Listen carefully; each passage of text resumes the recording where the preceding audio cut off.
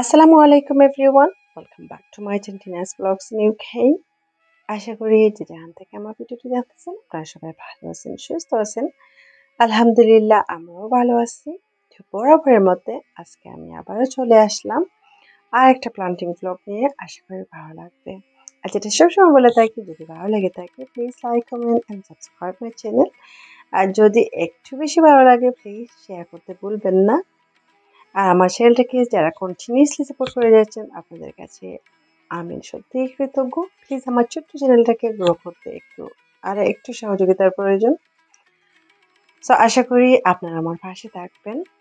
তো আজকে হচ্ছে গিয়ে আমি আপনাদের সঙ্গে শেয়ার করব শখের পুঁইশাক গাছগুলো, যেগুলো থেকে আলহামদুলিল্লাহ অনেকবার অনেকবার হারভেস্ট করেছি, অনেকবারই রান্না করে খেয়েছি খুবই ভালো লাগে। বাচ্চারাও খুবই পছন্দ করে। সো এগুলোকে একটু এক্সট্রা কেয়ার করতে ভালো লাগে।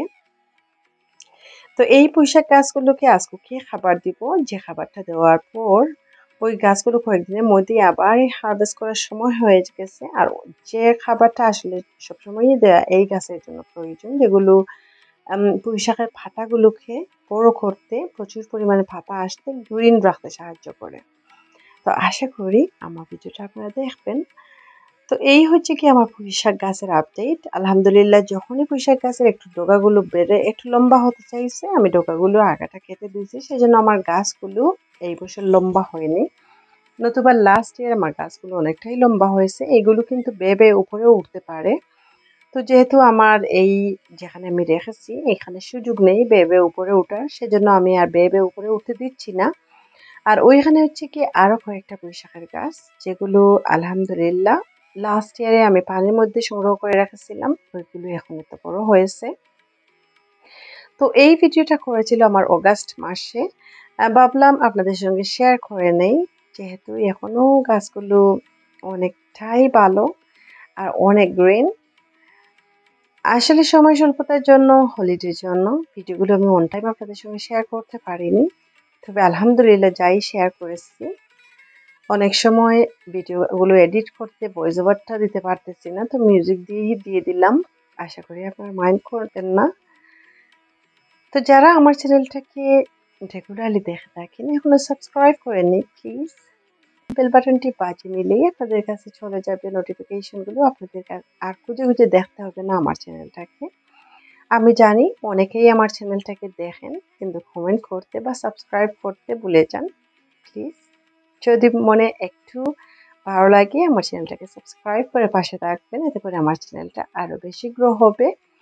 অনেকটা পথ এগিয়ে এসেছে, কিন্তু আরও অনেকটা পথ এগিয়ে যাওয়ার আপনাদের সহযোগিতা না পেলে এই চ্যানেলগুলো একটুও গ্রো করবে না। তো এখন হচ্ছে গিয়ে আমি আপনাদেরকে দেখাবো আমি কি করতেছি। তো ওই ভিডিওটা যখন করেছিলাম, আমরা হলিডে যাব। তো এর আগে ওই ভিডিওটা করা। তো আমার মনের মধ্যে একটা চিন্তা যে এই গাছগুলো পানির অভাবে কী হবে? যদিও আমি যখন হলিডে গিয়েছিলাম, তখন দু তিন দিন পর একদিন পুরোদমে বৃষ্টি হয়েছিল, সেটা ছিল আমার বোনাস এতে করে আমার গাছগুলো সত্যিই প্রাণবন্ধ ছিল। তবু যদি বলা যায় না, যদি বৃষ্টি না হয়, সেজন্য আমি একটা ব্যবস্থা করে নিলাম। তো এই টি ব্যাগগুলো যেগুলো আমার আমি ফেটে দেইনি, ওইগুলো আমি প্রতিটা গাছের গোড়ার মধ্যে রেখে দিলাম। তারপর আমি যখন পানিটা দিয়ে দিলাম, ওই টি ব্যাগগুলো পানিটা কিন্তু কালেক্ট করে রেখেছে। আর যখন আমার গাছগুলো একটু ড্রাই হয়ে যাচ্ছে, ওই টি ব্যাগ থেকে মাটিগুলো কিন্তু পানি নিতে পারতেছিল। আর এভাবে যদি আপনারা করে থাকেন, এইটা হলিডে যাওয়ার জন্য না, যদি আপনারা এমনিতেই করে থাকেন, অনেকটাই কিন্তু সাপোর্ট হয়। আর এই খাবারটা কিন্তু প্রতিটা গ্রিনারির জন্য খুবই প্রয়োজন মিরাকল গ্রোয়ের অল পারপাস খাবার, যেটার মধ্যে নাইট্রোজেনের পরিমাণ একটু বেশি, আর এই নাইট্রোজেন কিন্তু গাছের পাতাগুলোকে গ্রিন রাখে, গাছের মধ্যে প্রচুর পাতা দিতে সাহায্য করে, যেটা ডুগি হোক, লাল শাক হোক বা স্পিনেচ হোক যে গাছগুলো থেকে আমরা পাতা বেশি পেয়ে থাকি, সহজ ভাষায় ওই গাছগুলোর জন্য এই খাবারটা কিন্তু খুবই প্রয়োজন।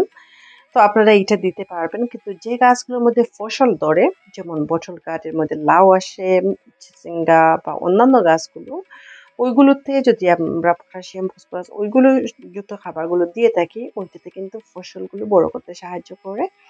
সো সেটা মাথায় রেখে আমি আজকে ওই খাবারটা দিচ্ছি। তো আপনারা যদি ট্রাই করে দেখতে চান, অবশ্যই দেখতে পারেন। তো এখানে আমি আরও কিছু পুঁইশাক হারভেস্ট করে নিচ্ছি। ওইটা ছিল ডিফারেন্ট ডে ভিডিও এর মধ্যখানে কিন্তু আরও কয়েকবার হারভেস্ট করা হয়ে গেছে। তো আলহামদুলিল্লাহ আপনারা দেখতে পাচ্ছেন, গাছগুলো কিন্তু খুবই সবুজ এখনও রয়ে গেছে।